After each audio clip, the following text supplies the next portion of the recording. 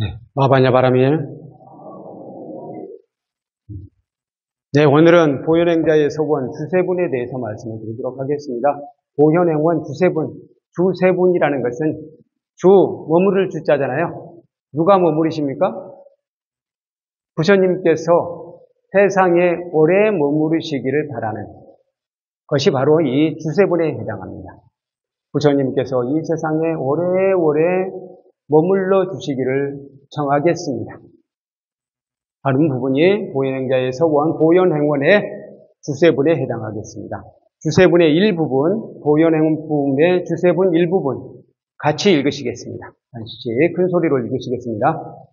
선남자여, 부처님께 이 세상에 오래 계시기를 청한다는 것은 진법계, 허공계, 지방 3세의 모든 부처님께서 열반에 드시려 하실 때나 모든 보살과 성문 영각인 유학, 무학과 내지 일체 모든 선지식이 열반에 들려하면 열반에 드시지 말고 영겁토록 일체 중생을 이롭게 하여 주소서 하는 것입니다.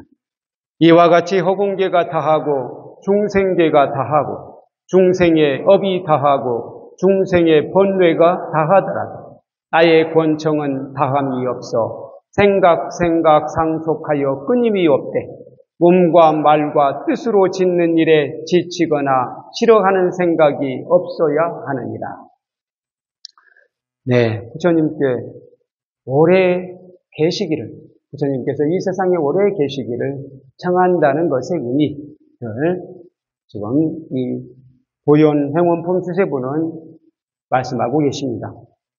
그래서 부처님께서 열반에 드시려 하면은 열반에 드시지 말고 영겁토록 저희들을 위해서 이 세상에 머물러 주셔서 이렇게 청하는 거예요.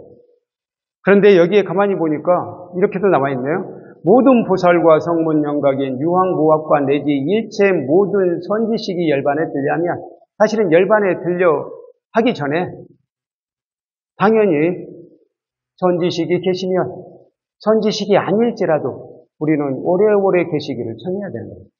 오래오래. 어서 가시옵소서가 아니라 오래오래 이 세상에 저희들과 함께 머물러서 허범을 전해 주십시오. 라고 청해야 된다는 겁니다. 이 부분은 그냥 그렇게 청하는 것을 떠나서 한편으로는 부처님이라든가 선지식은 우리가 잘 보살펴 드려서 그분들이 오래오래 저희와 함께 기쁘게 머물도록 하시게 하게 하는 것. 그게 중요합니다. 그렇게 해야 된다는 거예요. 그러니까 부처님 시대에 메기아라는 분이 있었어요. 메기아라는 분이 있었는데 이 메기아는 아난다 존자가 부처님을 시봉하기 전에 부처님 시봉하기도 했어요. 부처님 우리는 부처님의 시자 하면 메기아만 아니 메기아가 아난다만 생각하잖아요. 아난다는 부처님께서 50에서 50이 넘으셔서 그때 비로소 비로소 시자가 된 거고요. 그 이전에 다른 분들이 계속해서 시봉을 한 건 아니지만 음, 시기에 따라서 어, 일정 기간 시봉을 하신 분들이 몇 분 계셨어요. 그 중에 메기아라는 분이 있었어요.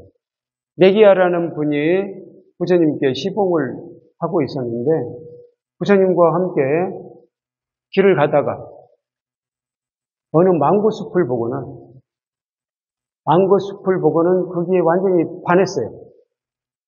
그래가지고 이 망고 숲에서 내가 좀 머무르면서 수영을 했으면 좋겠다라는 원을 세웠어요. 그리고 다음에 안거철이 되니까 부처님께 말씀을 거예요. 부처님, 저는 이번 안거철에 이 망고 숲에서 망고숲에서 머물고, 머물고 싶습니다. 라고 제안을 하는 거예요. 그러니까 부처님께서 안 된다. 너는 나를 시봉하기로 하지 않았느냐? 어? 너는 나와 함께 지내야 된다. 이번처럼 나와 함께 지내야 된다. 라고 얘기를. 그러니까 나중에 조금 짓다가 나중에 또 청을 하는 거예요. 부처님, 그 망고숲에서 머물고 싶습니다. 부처님께서 또 안 된다고 하셨어요. 근데 좀 시간이 또 지나니까 내기야가 또 그 마음이 동해가지고 다른 일이 손에 잡히질 않는 거예요. 그래서 부처님께 또 청을 합니다. 부처님이시여 부디 저로 하여금 그 망고숲에서 머물게 하여 주시옵소서 라고 청합니다. 부처님이 이렇게까지 청하면 거절하지 않으십니다. 우리 부처님이 굉장히 단호하신 걸로 여러분들이 생각하실지 모르겠지만 사실은 그렇지 않으셨어요. 부처님은 어떻게 하면 제자들을 편하게 할 것인가 늘 고민하셨고요. 제자들이 뭔가 기회를 어겨서 또는 문제를 만들어서 떠나야 될 상황이 오거나 벌을 받아야 될 상황 어떻게 하면 구제할 것인가 라는 고민을 엄청 하신 분이에요. 그래서 사실 율장을 우리가 가만히 보면요. 율장이 부처님께서 제자들을 내치기 위해서 단호하게 그 계율을, 엄격한 계율을 적용한 것이 아니라는 걸 여러분들 가만히 보면 읽을 수 있습니다. 그건 제자들을 어떻게 하든지 구제하기 위해서 만들어진 거예요. 그리고 그 계율이 생긴 뒤에는 이렇게 미리 계율을 너희들은 정해진 것을 알고 앞으로는 이런 것을 범하지 말아라. 라고 또 공표하신 면도 있습니다. 다시 말해서 부처님께서는 아주 아주 엄격하게 제자들을 내모신 분이 아니라 제자들을 한 명이라도 더 구제해 주려고 애쓰신 분이었다. 이렇게 보시면 돼요. 그러니까 메기아가 세 번이나 청하니까 그래 그렇게 하도록 해라. 라고 하셨어요. 또 단호하게 너는 그래서는 안 되느니라. 여기 눌러 앉아라. 라고 하게 되면 메기아로서는 계속 두고두고 후회가 남을 거 아닙니까? 그걸 아시고 부처님께서 그래 거기에 머물러 봐라 라고 한 거예요. 메기아가 거기서 앉아서 수행을 하려고 하는데 온갖 생각이 다 떠오르는 거예요. 탐, 탐은 탐욕이죠. 온갖 욕심이 몸에서 새록새록 솟아 올라와. 그래 도저히 수행할 수가 없어요. 그렇게 되다 보니까 자기 수행에 대한 만족이 안 되잖아요. 만족하지 못하니까 분노가 일어나요. 그 탐욕은 어디에서부터 생겼습니까? 어리석음으로부터 비롯된 거잖아요. 내 몸에 대한 집착, 내 몸이 내 것이라는 것에 대한 그런 어리석은 생각, 어리석은 견해로 인해서 탐욕이 생기는 겁니다. 탐욕이 채워지지 않으면 분노가 생기는 거고. 그래서 이 탐진치 때문에 도저히 수행할 수가 없는 거예요. 제대로 수행하지 못하고 나중에 부처님께 돌아와요. 부처님, 도저히 탐진치, 이 탐욕에 사로잡혀서 수행하지 못하겠습니다. 라고 하면, 그래, 알았다. 그럼 내 곁에서 머물면서 열심히 정진하도록 해라. 라고 부처님께서 말씀하십니다. 이렇게 용서하시는 분이 부처님입니다. 그리고 나서 이 메기아가 부처님 곁에서 다시 마음을 다잡고 어떻게 보면은 부처님께서 세 번 만에 거기를 가라고 한 것도 그 계산이 다 있었을 거예요.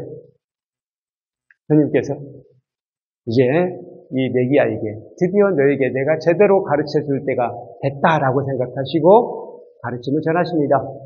그 가르침이 바로 법구경 33송, 34송입니다. 33송, 34송은 다음에 전해드리도록 하고 오늘은 고연행자의 소원, 수세분에 대해서 계속해서 말씀을 드리도록 하겠습니다. 여기서 메기아의 행위를 생각을 해보세요. 부처님 시봉이면은 당연히 부처님께서 안락하게 계실 수 있도록 옆에서 보살펴 드려야 하는 것. 이게 바로 주세에 대한 실천입니다. 그냥 부처님께서 이 세상에 오래 계시옵소서 이렇게 청하는 것만이 아니에요. 부처님께서 평안하게 계실 수 있도록 보살펴 드리는 것. 그게 바로 주세에 대한 실천이라는 거예요. 바로 그걸 우리는 명심해야 됩니다. 아, 그 점에 착안해서 바로 주세분에서 우리가 명심해야 될 내용 몇 가지 살펴보도록 하겠습니다. 첫 번째로 육신으로 오신 부처님을 잘 모셔야 합니다. 우리는 육신으로 오신 부처님 못 만나셨죠? 육신으로 오신 부처님, 서가모니 부처님을 못 만났잖아요. 그럼에도 불구하고 육신으로 오신 부처님은 없다고 생각하십니까? 이 자리에? 이 세상에 없다고 생각하십니까? 그렇게 생각하진 않으시잖아요. 그러면 누가 부처님이라고 생각하시죠? 나 자신이다. 어떤 분은 자성불이다. 뭐 이렇게도 말씀하시네요. 그렇게 보면은 자기 자신을 부처님이라고 생각하고 자기 자신을 잘 모셔야 되겠네요. 자기 자신을 부처님처럼 모셔야 돼요. 근데 부처님처럼 모셔야 되는데 우리는 부처님처럼 잘 모시고 있습니까? 부처님이라면 나 자신을 극진히 모셔야 될 거 아니에요. 나 자신에게 예의를 다해야 되잖아요. 근데 우리는 실제로 그렇지 못하는 경우가 많아요. 나 자신을 성심껏 모시지 못하고 그냥 중생으로 생각하고 내 마음을 함부로 쥐어뜯고 내 몸에 대해서도 내 몸이 원하는 것은 적당한 음식, 좋은 음식인데 적당한 음식, 좋은 음식이 아니라 사실상 나의 욕망이 원하는 음식, 내 몸이 원하는 음식이 아니라 욕망이 원하는 음식을 더 즐기잖아요. 그건 부처님을 극진히 모시는 것이 아니에요. 육신으로 오신 부처님을 잘 모셔야 한다. 예를 들어서 서가모니 부처님 같은 분이 우리 곁에 계신다면 그분을 잘 모셔야 하고요.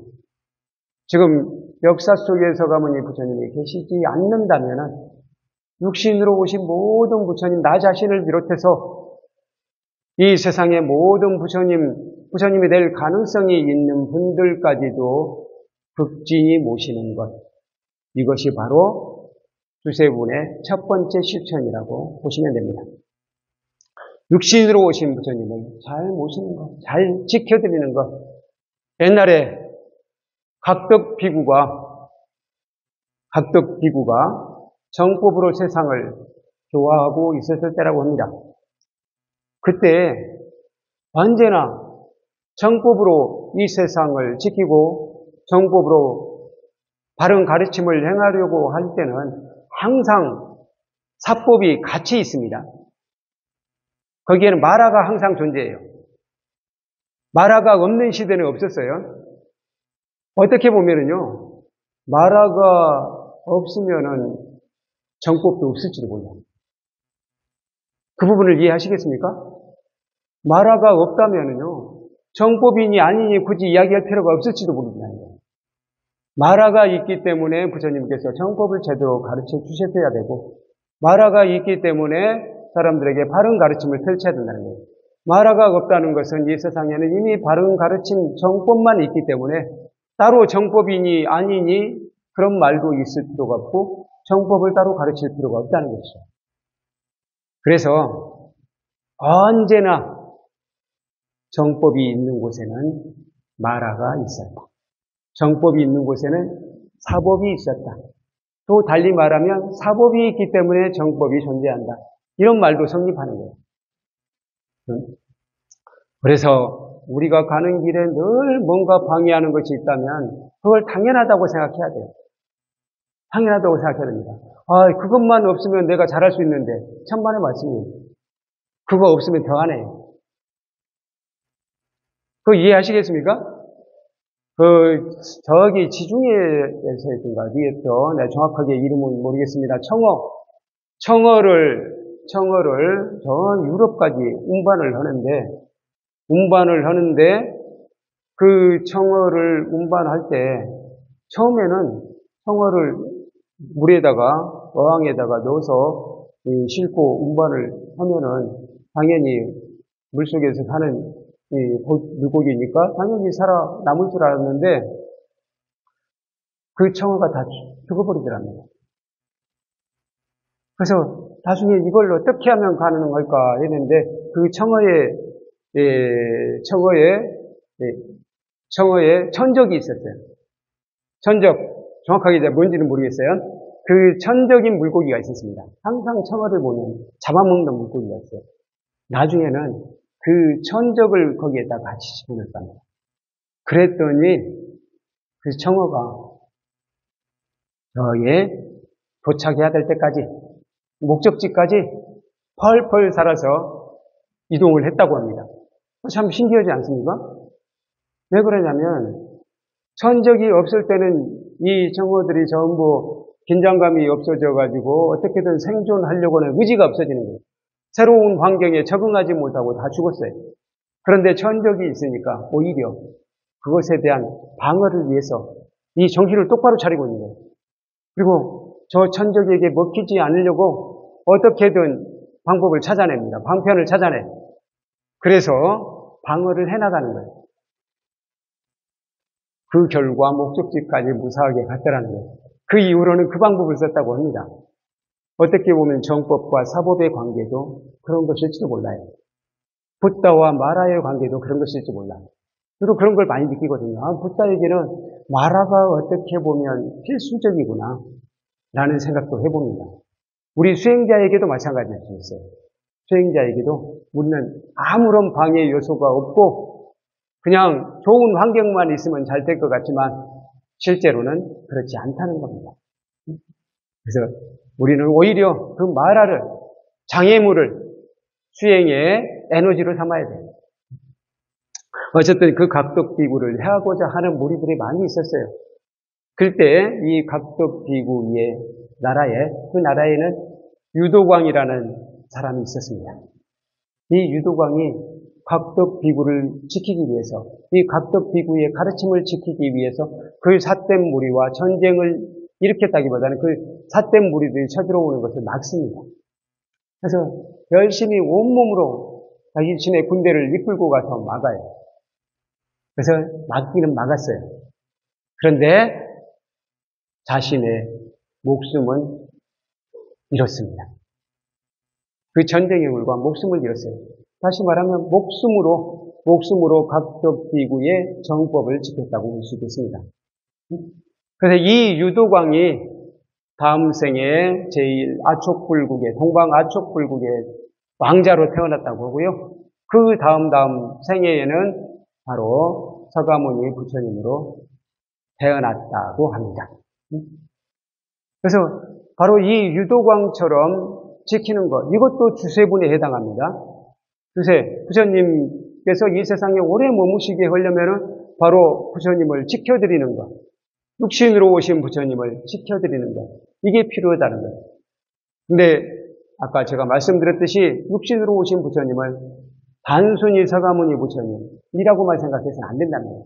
여기서도 부처님이 되기 이전에 각덕 비구잖아요. 비구를 이렇게 목숨을, 목숨을 바쳐서 지켰잖아요. 이것이 바로 주세분의 실천입니다. 두 번째로, 선지식들을 잘 모셔야 합니다. 여기서 선지식은 우리 불교의 선지식만을 이야기하는 거 아니에요. 모든 선지식, 우리에게 이로움을 주는 세상의 큰 선지식들, 이분들은 우리가 잘 모시고 지켜야 된다는 거예요. 우리 큰 가르침을 베푸시는 분 계시잖아요. 그분들 가만히 보면 꼭 불자만은 아닙니다. 꼭 우리 음, 부처님을 신봉하는 사람들만 아닐 수 있어요. 근데 그분들도 우리에게 큰 가르침을 주고 세상을 이롭게 하고 그런 분들 꽤 되죠.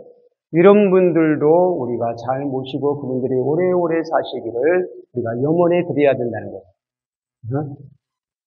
전지식들을 잘 모셔야 합니다. 실제로 그런 분들 말고 계시죠? 어, 구체적으로 누구라고 이야기할 필요도 없겠습니다만 이미 떠나신 분들 중에서 얘기를 해보자면은 뭐 예를 들자면 마트마 간디 같은 분. 마트마 간디는 두고두고 이 세상을 이롭게 해주시는 분이잖아요. 이분은 어떻게 보면은 약한 사람이 강한 이들에게 제대로 저항하는 방법을 분명하게 일깨워 주신 분이거든요. 그리고 거기에 어떤 폭력적인 방법을 쓰지 않으셨어요. 그래서 이 마하트마 간디 같은 분, 우리는 선지식으로 잘 모셔야 돼요. 또 이분을 존경하는 또 한 분, 미국의 성각자 한 분 계시죠? 헨리 데이비 소로라는 분. 이분은 시민의 불복종이라는 책을 썼어요.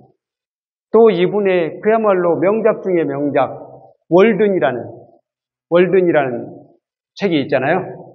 이분, 이 책은 이분이 월든 호숫가, 미국의 콩코드라는 지역의 월든 호숫가에서 일종의 실험을 한 거예요.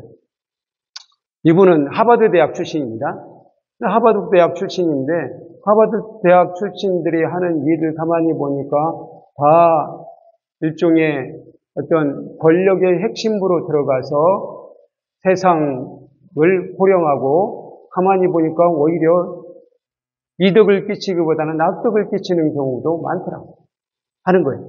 그리고 하버드대 출신들은 다들 그런 식으로 사는 것을 당연하게 하거나 당연하게 여기거나 아니면 좋은 직업을 갖거나 또 그런 것, 뭐 그런 쪽에 뭔가 기득권을 누리는 쪽으로 다 가더라 이거예요.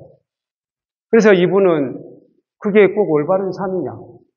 하버드대를 나왔다고 해서 꼭 그렇게 살아야 되느냐? 라고 생각을 한 거예요. 그래서 이분은 달리 생각을 했습니다. 하버드 대학을 나왔지만 지극히 소박하게 살고 친환경적으로 살고 서민들과 함께 사는 모습을 나는 보여주겠다. 라고 생각합니다. 그리고는 월든 호숫가에 집을, 오두막을 짓습니다. 오두막으로 짓는데 그 경비가 단돈 270달러였다고 합니다. 물론 오늘날 돈으로 하면 조금 더 되긴 하겠죠. 그때가 1800년대니까 아주 뭐, 아주 아주 흐른 것은 아닐지 모르겠지만 그걸로는 어쨌든 집을 질 정도의 뭐 큰 돈은 아니었어요. 그런데 이분은 그 월든 호숫가에 있는 것, 거기에 있는 제목들을 다 사용한 거예요. 그곳에 있는 나무라든가 또 굳이 밖에서 공산품을 사과해야 될 것은 어쩔 수 없이 이제 그 돈으로 금액으로 샀지만 될 수 있으면은 그 주변에 있는 돌이라든가 나무라든가 그런 것들을 이용해서 오두막을 짓습니다. 그 오두막을 짓고 2년 동안 그야말로 소박하게 스스로 농사를 지으면서 자연과 함께 또는 그 월든 호숫가에 있는 물고기도 가끔은 잡아서 그걸로 식사 대용을 하면서 2년을 삽니다. 그 2년 동안 그것을 열심히 기록을 했어요. 그 기록이 바로 월든이라는 책입니다.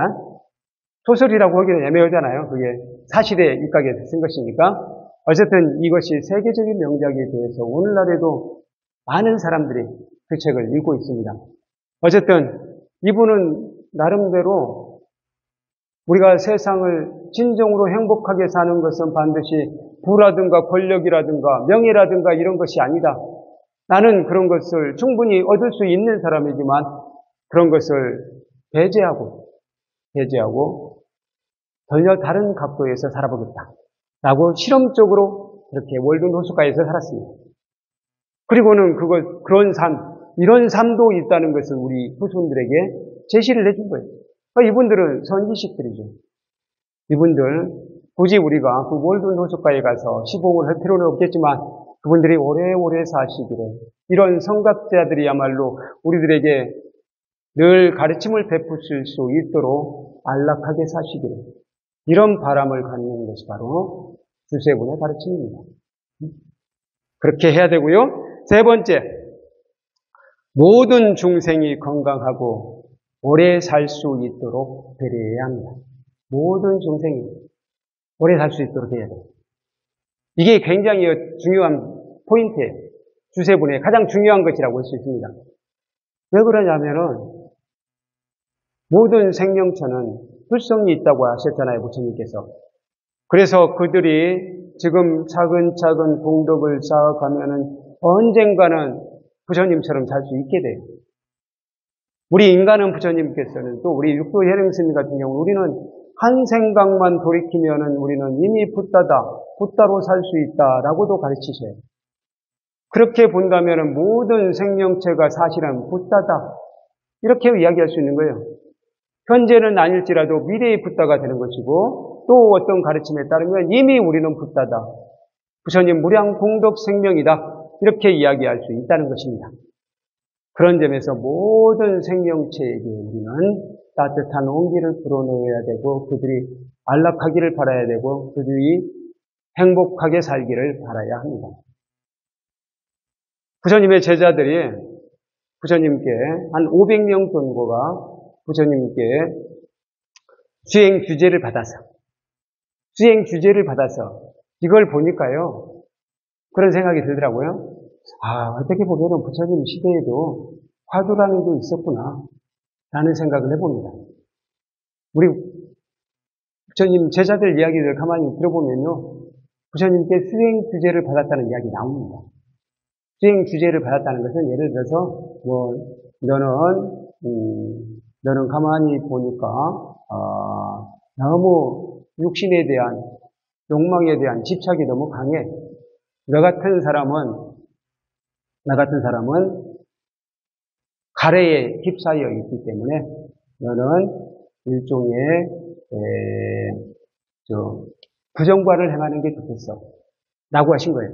그러면 너는 공동묘지 근처에 시다림이라고 합니다. 부처님 시대에 시다림이라고 했어요. 공동묘지 근처, 시체를 버리는 곳 근처에 거처를 마련해가지고 그곳에서 그 썩어가는 시체에 대한 생각을 쭉 해보라. 그러면은 내 육신이라는 거, 욕망을 일으키는 이 육신이라는 것이 사실은 고깃덩이에 불과하고 지수와 화합물에 불과한 것인데 내가 이토록 이것이 욕망하는 바에 집착하고 있구나. 그것을 알게 될 것이다. 그래서 부정관을 해봐라. 라고도 하고 또 어떤 사람에게는 너는 가만히 보면 분노에 많이 휩싸여 있어. 분노에 휩싸여 있어가지고 마음을 차분히 가라앉히지 못해.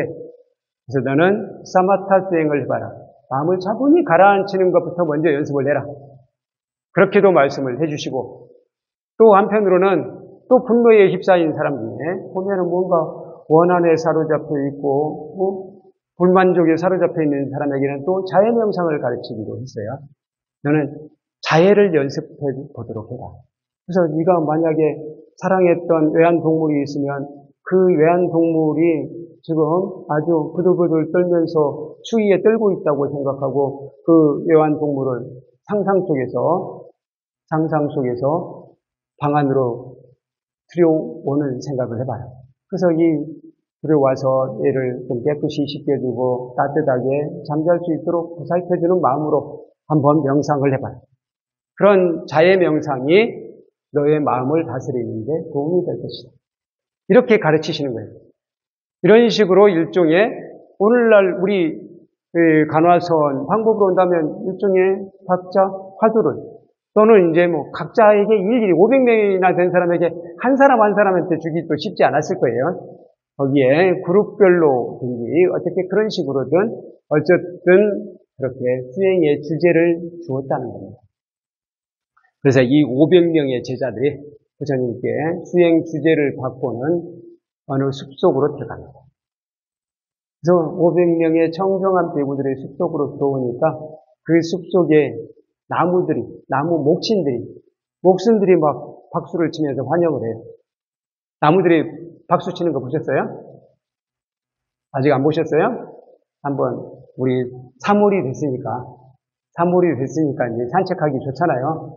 지금 이번 꽃샘추위 지나면요. 지금 꽃샘추위에서 숲속에 들어가기 힘드시죠?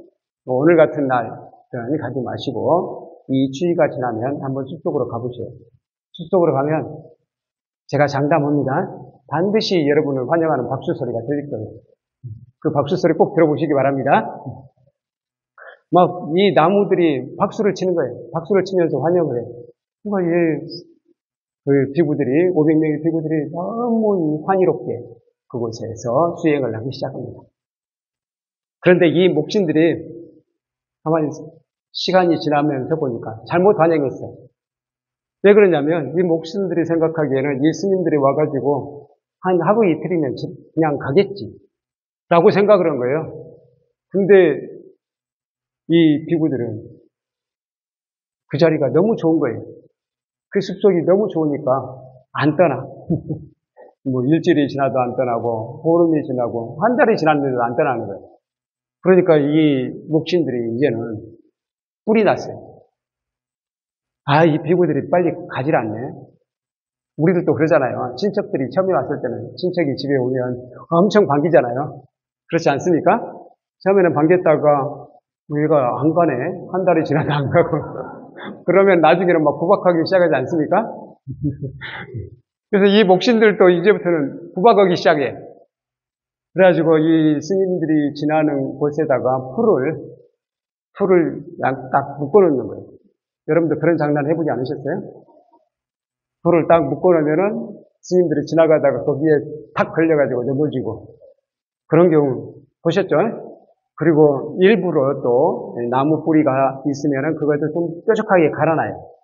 그러면 지나가다가 거기에 찔리기도 하고 엉덩방아를 찢기도 하고 그렇게도 하고 또 이, 이 목신들이 아까는 열렬한 박수 소리를 보내줬잖아요.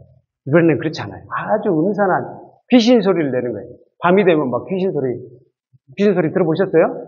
여우 목소리, 그래서 여우 목소리 같은 소리 들어보셨어요? 숲속에 가면 그런 소리 들려요. 우리 선방, 뭐, 숲속에 있는 선방, 산 속에, 제가 북한산 중사에서 그런 소리 들렸어요. 무슨 이상한 소리가 들립니다. 개가 우는 소리 같기도 하고, 그런 짐승 울음소리 같은 소리 들리고, 바람 소리가요, 바람 소리가, 지금처럼 약간 쌀쌀하고 그런 날씨에는 바람 소리가 약간 피리 소리처럼 들리기도 해요. 내가 마음이 아주 편안하고 안락하고 그러면 그게 아름다운 소리가 들리고요. 그렇지 않으면 그게 약간 귀신, 귀신 신나라 까먹는 거예요. 기분이 좋을 때는 어떤 악사들이 아주 이 명연주자가 연주하는 피리소리 같이 들리고 기분이 나쁠 때는 뭔가 귀신이 부는 피리소리가 들려요. 그걸 또 한번 경험해 보시기 바랍니다. 뭐 경험 안 하셔도 괜찮고요. 어쨌든 뭐 그런 소리를 내는 거예요. 그러니까 이 스님들이 정말 견딜 수가 없어. 여기에 계속 있어야 되나. 그런데 우리는 부처님께 수행 규제를 받아가지고 이거에 어느 정도 물이 익을 때까지는 여기에서 좀 하려고 우리가 마음을 먹고 왔는데 또 중간에 나가는 것도 음, 음, 아닌 것 같아요. 그래서 부처님을 찾아갑니다. 이 제자들이 부처님을 찾아가서는 부처님께 여쭤봅니다. 부처님, 제가 어느 숲속에 가, 저희들이 어느 숲속에 갔, 갔는데, 우리가 올 때 진짜 이 목신들이, 저희들의 나무들이 열렬한 박수를 쳤었어요. 그리고는 처음에는 밤마다 어, 아름다운 피리 소리를 들려주고 그러더니 언제부턴가는 귀신 소리를 들려주고 나뭇가지가 갑자기 떨어져서 저희 머리, 머리 위로 떨어지는가 하면 아니면 풀을 중간중간 매나, 매나가지고 거기에 걸려 넘어지고 이런 일이 한두 번이 아닙니다. 그래서 저희들이 지금 성한 데가 없습니다. 이마가 깨지고 무릎팍이 깨지고 그래가지고 우리들 지금 다 폐잔병 같습니다. 그렇게 부처님께 말씀을 드렸어요. 부처님께서 그래 그러면 내가 무기를 주겠나 라고 말씀하십니다. 무기 너희들은 내가 무기를 줄 테니 그 무기를 잘 간직하고 가서 그 어려움을 물리치도록 해라. 라고 말씀을 하십니다. 그리고는 부처님께서 설법하십니다. 뭘 내주셨느냐? 자예경을 가르쳐 주십니다. 자예경. 자예경 중에서 제가 아주 일부만 여기에 인용을 했습니다. 그 자예경의 일부 같이 읽으시겠습니다. 오른쪽 페이지, 회보 오른쪽 페이지 중간에 굵은 것이 있죠? 이건 우리 부처님이라고 생각하시고 아주 편안한 마음으로 네, 또박또박 읽으시겠습니다. 살아있는 생명이면 어떤 것이건 움직이거나 움직이지 않거나 길거나 크거나 중간이거나 짧거나 작거나 비대하거나 보이거나 보이지 않거나 멀거나 가깝거나 이미 있거나 앞으로 태어날 것이거나 모든 중생들이 안락하고 평화롭고 행복하기를 바랍니다. 바로 이와 같은 내용이에요. 그래서 모든 중생들 여기에 자의경은 뭐냐면 내가 어떤 일이 있어도 자애심을 잃지 않겠습니다. 혹시 나에게 해코지를 하는 사람, 나를 욕하는 사람이 있더라도 절대로 자애로운 마음을 잃지 않겠습니다. 어려운 중생이 있으면 마치 어머니가 외화들을 보호하듯이 그들을 보호하겠습니다. 그런 내용이에요. 그리고 마지막에는 이렇게 자애로운 마음을 잃지 않는 한 반드시 해탈 열반에 들 것입니다. 원문에는 해탈 열반에 들 것입니다. 라고 되는 게 아니라 다시는 모태에 들어가지 않을 것입니다. 이렇게 돼 있어요. 그래서 저는 모태에 들어가지 않을 것입니다를 이렇게 윤회하지 않을 것입니다로 번역할 수도 있고 해탈 열반에 들 것입니다. 궁극적인 평화에 들 것입니다. 이렇게 번역할 때도 있어요. 사람에 따라서. 네, 여러분께는 해탈 열반에 들 것입니다. 라고 하겠습니다. 해탈 열반이란 건 뭡니까? 해탈은 윤회의 사슬로부터 벗어난다는 뜻이고요. 열반은 모든 번뇌가 꺼진 상태예요. 모든 번뇌로부터 해방된다라는 것이 열반이에요. 모든 번뇌, 내 안에 있는 모든 번뇌를 꺼뜨리고 진정한 평화에 도달할 것입니다. 라는 게 자해경의 마지막이에요. 근데 자해경의 핵심은 바로 제가 이게 뽑아놓은 이 부분이에요. 살아있는 생명이면 어떤 것이건, 어떤 것이건, 우리는 나에게 해를 끼치는 것은 싫어하잖아요. 무기에 대해서는 싫어하잖아요. 파리도 싫어하잖아요. 그들은 어쨌든 우리가 생존해 나가는데 약간은 불편한 존재예요. 해충 같은 것도 싫어하잖아요. 몸속에 지금도 해충이 있을지도 몰라요. 뱃속에 있는 해충 싫어하시지 않으세요? 싫어하지 않으신 분 계시다고 하네요. 이분들은 이제 훨씬 더 부처님의 마음에 가까우신 분이에요. 그런 분들은 이제 해탈 열반하실 날이 얼마 안 되신 분들, 얼마 안 남으신 분들이고요. 근데 대부분의 사람들은 그런 나에게 내 몸에 해가 되는 음, 것들은 싫어해요. 근데 여기서 부처님께서 말씀하시기를 그 모든 생명체라고 했어요. 나에게 해를 끼치는 것까지 내 해를 끼치는 것인데 그래 그러기 때문에 이런 말씀 때문에 그렇다고 해서 뭐 집안에 있는 모기도 그냥 어떻게든 살리고 뭐 그러라는 뜻은 아니에요. 그 부분은 여러분들께서 요령껏 알아서 하시고요. 어쨌든 그런 마음은 잃지 않아야 된다. 설사 그런 생명체를 어쩔 수 없이 방역을 위해서 방역을 위해서 정리를 해야 되는 상황에도 그들이 부디 지장보살님의 위신력으로 좋은 곳으로 태어나기 그런 기도 정도는 같이 하는 아량이 필요할 것 같아요. 그리고 부처님께서는 이런 마음으로 너희들이 한번 수행을 해봐라. 이제 그 숲속에 가면 이 자해경을 계속해서 암송하면서 수행해봐라.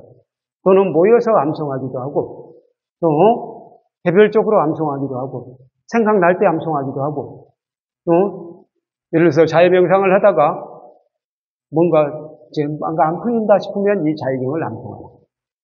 라고 이렇게 가르치신 거예요. 그래서 이 비구들이 돌아와서 새벽에 일어나면은 아, 모여서 자해경을 암송합니다. 그리고 각자 흩어져서 수행할 때도 또 앉아서 개인적으로도 자해경을 암송하고 자기 수행 주제로 들어가고 이렇게 계속 반복했어요. 그랬더니 목신들이 더 이상 해코지를 안 하더라고요.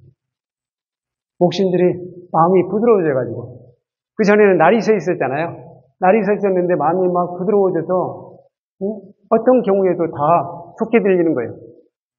그리고 그때는 남의 집 식구가 와가지고 불편했는데 아, 이들이 오히려 내 삶에 보탬이 되네? 그런 생각을 하기 시작하는 거예요. 어, 목신들이 가만히 보니까 이분들이 와서 우리들과 같이 살아줌으로써 우리들도 행복하지 않느냐? 같이 식구가 있으니까 든든하기도 하고, 어? 나름 좋네. 뭐 좋은 친척들이 어떨 때는 그런 경우도 있지, 않, 있지 않습니까? 아, 친척이 와서 늘 청소도 해주고, 또 우리 아이 공부도 가르쳐 주고 하니까 오히려 나중에는 가는 것이 서운해질 수도 있는 거 아니에요. 그런 경지가 오기도 해요. 우리 삶 속에서도. 그렇듯이 이 목신들에게도 그렇게 되는 거예요. 목신들이 오히려 이 비구들이 와 있음으로 해서 우리 삶이 더 인택해지구나, 인택해지는구나, 라고 생각하게 된 거예요. 그래서 오히려 이 목신들이, 나무들이, 비구들이 수행하는 것을 더 도와주고, 더 협조해주고, 이 비구들이 생각하는 것이 있으면 가만히 갔다가 전해주기도 하고, 예를 들어서 물을 마시고 싶어 하는 것 같으면 그 주변에 옹달샘을 살짝 만들어 놓는 거예요.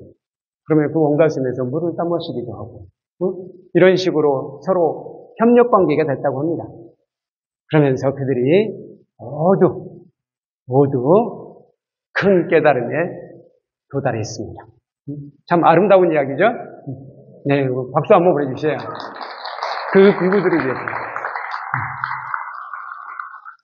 그리고 그 비구들과 함께 살았던 그 목신들에게도 축복의 마음을 보냅니다. 넷째, 중생을 방생하는 것은 곧 나 자신을 방생하는 것이다. 여기서 방생, 달리 말하면 봉사활동도 돼요. 방생하는 것, 남을 위해서 내가 열심히 일하는 것, 그것이 가만히 보면 나에게는 손해되는 것이고 남에게만 이익되는 것이다. 이렇게 생각할 수 있는데요. 사실은 그렇지 않다는 겁니다. 그래서 예전에 제가 어떤 보살님께 그렇게 한번 여쭤본 적이 있어요. 보살님 요즘 평안하십니까? 라고 여쭤봤더니 보살님께서 하신 말씀이 그래요. 아, 요즘에 제가 열심히 봉사 활동을 했더니 정말 모든 것이 좋아집니다. 내 건강도 좋아지고 내 마음 상태도 좋아지고 집안일도 잘 되는 것 같습니다. 이렇게 말씀하시더라고요. 물론 그렇게 생각하지 않을 수도 있어요. 봉사활동은 봉사활동대로 따로 생각하고 그냥 어쨌든 내가 요즘에 잘 일이 잘 되는구나 이렇게 생각할 수도 있는데 이분은 그렇게 생각하시더라고요. 내가 봉사활동을 열심히 하니까 내 건강도 좋아집니다. 이렇게 생각하시더라고요. 이런 태도가 맞는 거예요. 사실은 중생들을 위롭게 하는 것이 남에게 이롭게 한다고 하지만 그것이 사실은 공덕이 되는 거잖아요. 복덕이 되는 거잖아요. 지난번에 성원 스님께서 복덕과 공덕의 차이를 또 말씀하셨으니까 무조건 공덕이란 말은 조금 더 큰 의미더라고요. 복덕이라고 생각해도 좋아요. 복덕이 되는 거잖아요. 그것이 나에게 작용하는 것은 당연한 거죠. 내가 잘해준 만큼 상대도 나에게 잘해주잖아요. 어떻게 보면은 우리 생활 속에서도 그걸 느낍니다. 그래서 그것이 복덕이 되어서 사실상 나에게도, 내 생활에도, 내 가족에게도 도움이 되더라. 그래서 중생을 돕는 것, 봉사활동하는 것, 또 남을 위해서 열심히 애써주는 것. 그래서 내가 열심히 땀을 흘리고 어떻게 보면은 내 금전적인 손해도 있을 수 있고 그러잖아요. 그런 것들이, 그런 것들이 내 집, 내 삶에 내 몸이 완전히 숙하게 해서는 안 되겠지만 또는 집안 들어먹을 정도는 안 되겠지만 왜 적절하게 한다면은 그게 사실은 나 자신에게 도움이 되는 것이다. 이걸 우리는 알아야 됩니다. 그래서 보시하고 봉사하는 것이 사실은 나 자신에게 도움이 되는 것이다. 부처님께서 그렇게 말씀하시잖아요. 보시하게 되면 열심히 보시하는 이는 최소한 한 가지는 성취된다. 그게 뭐예요? 천상에 태어난다. 천상, 좋은 곳에 태어난다는 거예요. 그것만으로도 보시하는 것이 이미 복을 받는 거죠. 어떻게 보면 우리들이 이만큼 사는 것도 내가 전생에 어느 정도 복덕을 닦았기 때문이라고 생각합니다. 여기 보광당에 여러분들이 앉아 계시는 것, 여기 앉아 계시는 분들 다 앉아 계시는 거 아니잖아요. 물론 보광당과 우리 보광당과 법문가는 또 다른 법당이 있을 수는 있겠습니다만 그런 법당까지를 포함해서 나름대로 수행 활동하고 부처님 가르침을 배우고 하시는 분이 얼마나 되냐고요.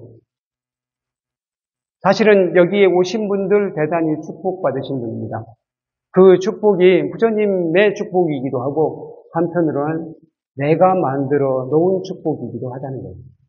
그걸 생각하면 내가 지금 복을 짓는 것, 보시하고 봉사하고 이런 것들이 지금 내가 손해된다는 생각 초도 하지 않는 게 좋아요. 손해본다는 생각을 하는 순간 그만큼은 덜어내는 거예요. 복의 일부는 지금 깎아먹는 거예요. 그런 생각 하지 마시고. 물론 형편이 안 되면 안 하는 게 낫지 하면서 막 그런 생각을 할 필요는 없다는 거예요. 기쁜 마음으로 어, 내가 잘 되는 것은 아, 내가 이렇게 예, 보시하고 공사한 덕분이구나라고 생각하신다면 기쁘게 할 수 있잖아요. 기쁜 마음으로 우리는 봉사활동을 해야 되겠다, 방생해야 되겠다, 라고 생각을 해봅니다. 네, 마지막으로 청어유정 스님의 봄맞이 시, 우리 봄이잖아요. 오늘 춥긴 하지만 오늘 갑자기 겨울이 됐죠. 그래서 다들 웅, 좀 움츠려 드신 것 같아요. 뭐 이럴 때 건강은 조심하시고요. 건강은 조심하되 마음만은 어차피 봄이다. 봄은 아무리 내가 진짜 쌍수 들고 말려도 이 봄은 옵니다. 기다리지 않아도 오고 말려도 오고 저기 길을 바리케이트를 쳐도 옵니다. 그래서 봄은 반드시 온다는 희망으로 이 시를 한번 읽어보겠습니다. 10년 만에 예벗을 만나니 산의 구름과 바다의 달이 다 달았네. 손잡고 시냇가에서 헤어지려니 숲에서 우는 새가 봄 노래를 불러주네. 네. 이인원 선생은 서산대사와는 아주 가까우신 분이에요. 여린 시절에 함께 했던 분이에요. 그래서 이 분과는 늘 중마 고우처럼 살았습니다. 그런데 한 10년 만에 만났잖아요.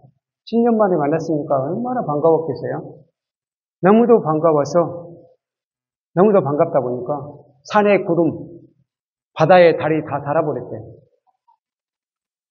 저, 엄청난 우정이네요. 어떻게 보면은 이 마음 속에는, 이런 우정 속에는 어떤 마음이 들었습니까? 이 이인원 선생에 대한 서산대사에 정말 아주 음, 애틋한 정이 들어있죠. 애틋한 정을 갖는 건 이것도 주세불에 해당합니다. 그래서 청와대 중심이 어떤 마음이겠어요? 이 이인원 선생이 가는 길마다 늘 꽃길이기를 이 사람이 항상 안전하기를 오래오래 살기를 건강하기를 이런 마음 아니겠어요? 이게 주세분이라는 거예요. 그러니까 주세분은 꼭 부처님만 아니에요. 모든 중생에 그- 그러듯이 내 친한 친구, 나에게 좋은 친구, 이들이 잘 살기를, 이들이 항상 건강하기를, 이런 마음인 것도 필요합니다. 근데 그럼에도 불구하고 이인원 선생은 진짜 의롭게, 정의롭게 일찍 떠나, 일찍은 아니에요. 음, 70대에 가셨으니까 일찍이라고 할 수는 없는데, 이분이 진주성 싸움 때, 진주성 싸움 때, 결국 진주성은 함락이 됐잖아요. 그때 이분이 진주 부사였습니다. 진주 부사였어요. 그래서 중과부적으로 결국은 진주성이 함락되잖아요. 그때 함락될 때 누가 등장하죠? 농계가 등장하잖아, 농계.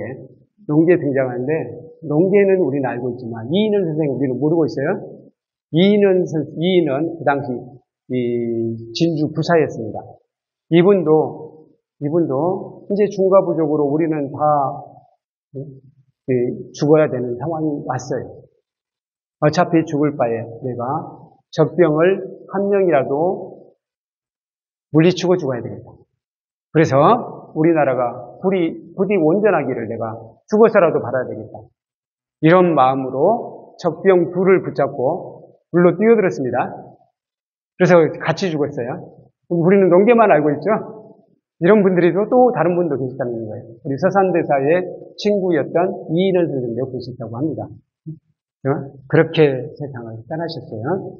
아마 그분 중에 한 분이 후손이, 후손이 아니라 그분 중에 환생이 여기 계실지도 몰라요. 그분의 환생이 여기 계실 수도 있을 겁니다. 어쨌든 우리 서산대사가 당신의 아주 중마고 위에 대해서 이런 마음을 가졌잖아요. 그 주세부는 바로 나의 정다운 친구, 훌륭한 친구가 잘 살기를 바라는 것도 주세부입니다. 이렇게 생각하셔도 되겠습니다. 네, 마지막으로 우리 불광 진행 4단계 구호를 함께 외치겠습니다. 불광을 믿자. 불광을 알자. 불광을 지키자. 불광을 살자.